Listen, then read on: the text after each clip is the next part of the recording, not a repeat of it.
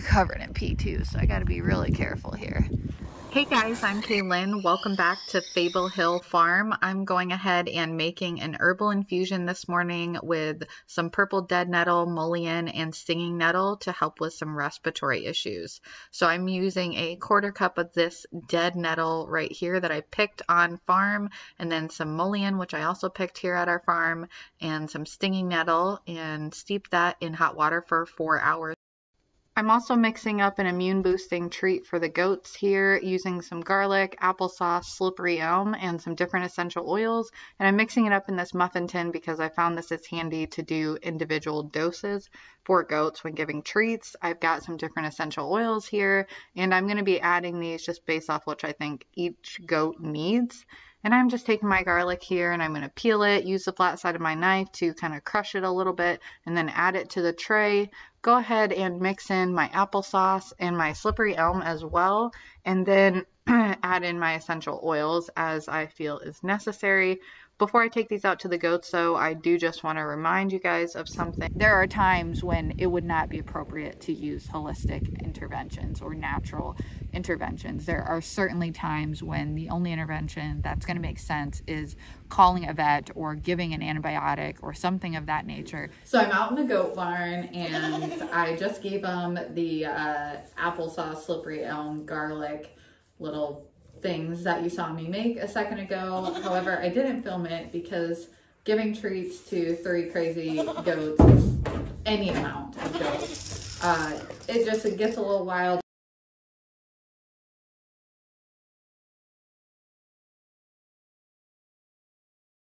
Goats never like this stuff, but what are you gonna do?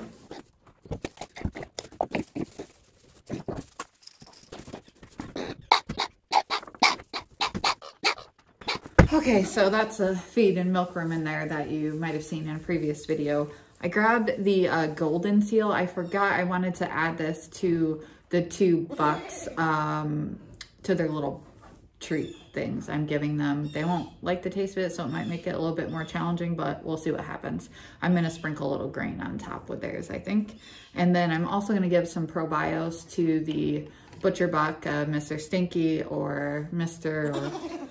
stinky buck, whatever I want to call him, uh, just because it is a wet, gross season and he hasn't had any since I've had him. I haven't administered any and I just think this time of year it'd be good to give him some and I do want to keep him healthy. The plan is for him to be turned into sausage. So, uh, you know, it's important to take care of your animals, whether they're pets or breeding stock or, you know, meat animals. You want a healthy animal. That's how you get uh, nutrient dense uh, food overall. I know.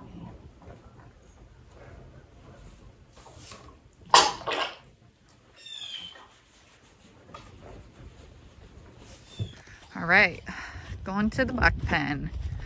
Hopefully this turns out okay and I don't get super stinky for no reason.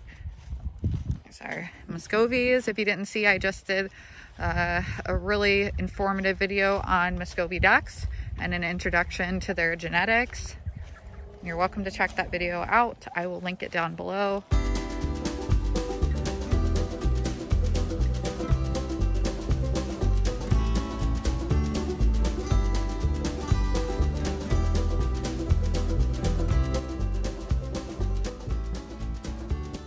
Here's what I came up with. Uh, I've got just two bowls. That'll be the easiest way to give it to them individually. I went ahead and added a couple of things that I thought I would mention for Templeton, who is our junior buck, our herd sire. Uh, I went ahead and gave him a little sprinkle of ammonium chloride, which is to help to prevent urinary calculi from bucks consuming grains. And he does currently get a medicated Purina goat feed with a coxistat. And uh, I just periodically give a little ammonium chloride to protect his urinary tract system. Again, I added golden seal to both of them. They each have oregano oil in there. They've got the uh, raw garlic and the applesauce and slippery elm. And then I added the probios for uh, Mr. our butcher buck, companion buck for Templeton. And uh, I also added for him some minerals because he's not being fed any grain or anything. And we don't do free choice minerals for the bucks. Uh, I do have a salt block out there, but and here are the boys. The blue-eyed boy is the butcher buck. And then the little guy is Templeton. Watch out, boys. I got something pretty awesome for you. Uh, here you go, Stinky Buck. Let's see how this works. No, Templeton. No, no, no. This one's yours. Oh my God, they're covered in pee too, so I gotta be really careful here. So the bucks nibbled on the things I offered them, but they didn't really eat them. There's still basically a full dose for each of them left. So I'm gonna bring them into the garage and think about what I wanna add to sweeten the deal a little bit. They both, you know, seem totally fine. I just think that it's an important step as far as, uh, you know, just supporting the immune system during a time which uh, can be harsh on all of our immune systems, human and animals. So thank you guys again for watching this video. I hope you found it informative and let me know if you have any questions below. I'd love to hear from people who have way more experience than me on uh, how they manage their herd, uh, maybe holistically, maybe not. You know, I'm not against traditional uh, medicine. I'm not against traditional approaches. I think that at, in general, you have to do what's best for your herd, what's best for your lifestyle, for your schedule, for your wallet, and do the best you can. There's a time and a place for everything. So I just want to state that, you know, I'm not a vet.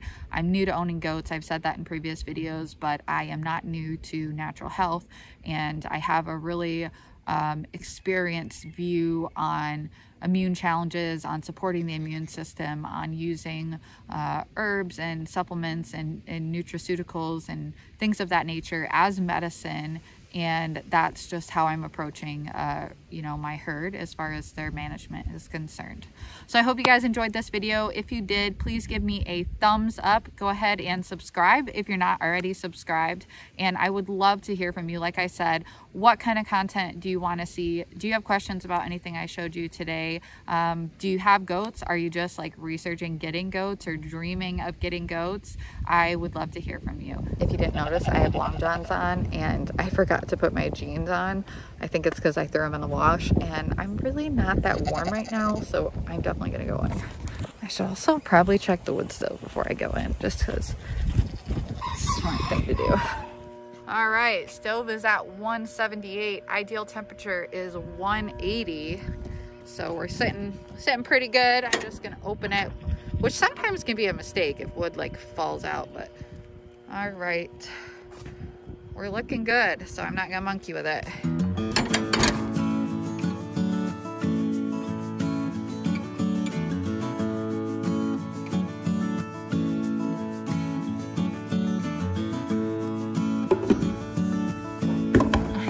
I knew that wasn't gonna work?